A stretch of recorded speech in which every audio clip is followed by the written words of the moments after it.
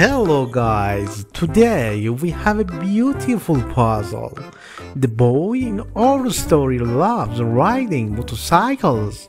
I always wanted him to have a motorcycle when he grew up and be able to ride on the street.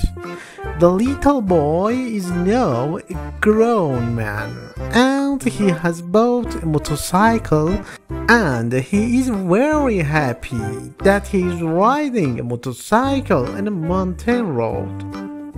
Guys, please subscribe to Dr. Puzzle channel and introduce us to your friends.